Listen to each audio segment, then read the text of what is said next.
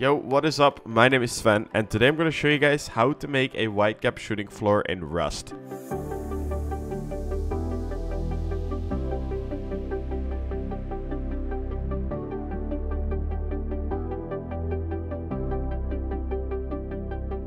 You've probably seen, if not heard, of this building method in your actual wipes in Rust, or you might actually already know how to do this, but for those of you that don't know how to do this, here's my video on how to actually make a wide gap shooting floor. Now, I mentioned shooting floor, but using your own creativity, you can actually use this for multiple purposes and not just a shooting floor.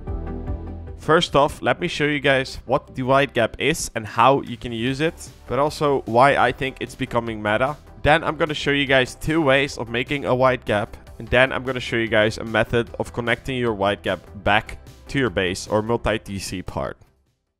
Now, there's four main reasons why I think the wide gap shooting floor is going to become a building meta in Rust. First of all, the peek angles that you can have using a wide gap shooting floor are just insanely nuts. Overall, you have an insane space to move around and to potentially peek raiders from, from your shooting floor. Now, on top of that, a wide gap shooting floor is usually connected to its own TC or your multi-TC, which makes the overall upkeep of your base a lot less because your actual main base is not going to have a shooting floor attached. Everything that's done on the shooting floor is attached to an external TC. Now, on top of that, your base will then automatically have takeover TCs. Now to make things even better, the stability usually on wide gap shooting floors is a lot higher and once again, since the wide gap shooting floor is usually connected to its own TCs, you can spam frames for basically zero cost. A lot of upsides, pretty much. And next to all of that, because of these two consistent ways to make a wide gap shooting floor, I definitely think that the wide gaps are going to become meta in Rust building, just like how multi-TCs are meta. So there's two main ways on how to make an actual wide gap. There's one commonly used one that's especially useful if you're trying to reconnect your wide gap,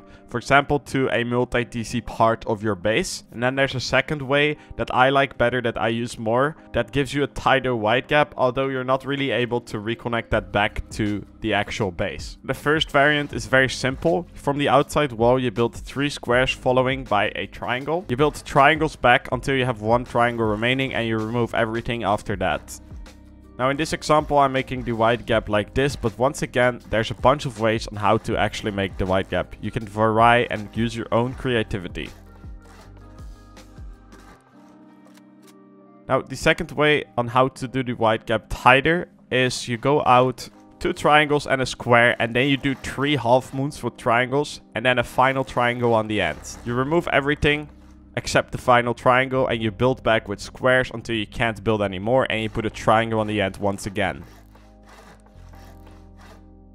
Now I like to do the wide gap like this with two squares on the side, but once again you can use your own creativity here. Now this second wide gap variant I like a lot better because the gap is tighter and also you're able to place more frames for extra stability. Although the downside of this one is you can't really reconnect it back to your base, which you can with variant 1. Now that's for a more square based, but if we go to a circle based, let me just show you guys a couple of examples of what you can do to make the same wide gap. This is the same exact steps that we did, but then we apply it to a circle base. You can see we can build a wide gap like that. We can also do one like this. It really depends on what you like, and there's so many different designs you can do with it, and it's just so broken not to actually apply this to any of your base designs, I think. let's talk about wide gaps and multi-TC bases. You can still apply the way how I showed you guys the main wide gap way to a multi-TC base. You can also apply the first way that I showed you, the most commonly way used. Um, and it's actually better to use this one, the wider gap, for a multi-TC base.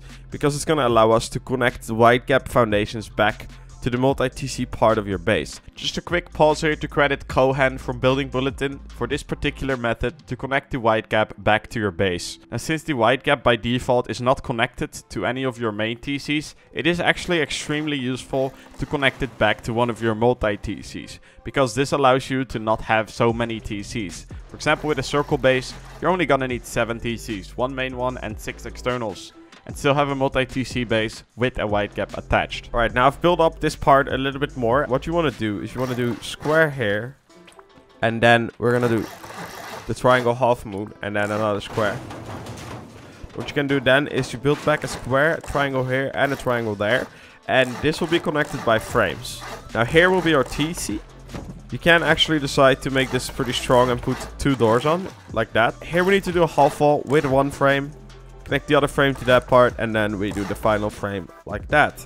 Now you can say this can be soft-sided, so if you want, you could do something like that. And as you can see, the hike was now part as well. So now we have our wide gap shooting floor connected to our multi-TC part of the base.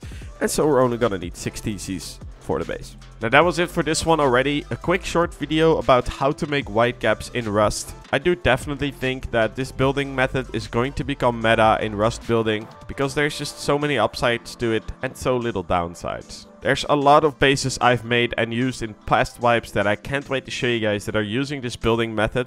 So definitely stay tuned for that. And of course, if you haven't subscribed to the channel and you would like to see more, make sure to subscribe.